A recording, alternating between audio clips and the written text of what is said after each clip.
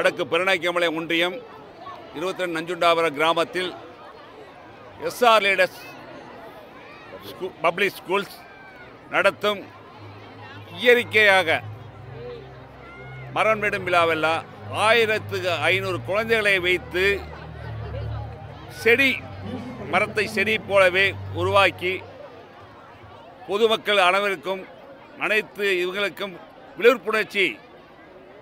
எல்லாரும் வீட்டுக்கு ஒரு பலம் வருப்போம் என்று பசுமை புரட்சிக்காகவே இந்த நிகழ்ச்சி சாதனையாக கின்னஸ் சாதனையாக இந்தியன் புக் சாதனையாக அனைத்து சாதனைக்காகவே இந்த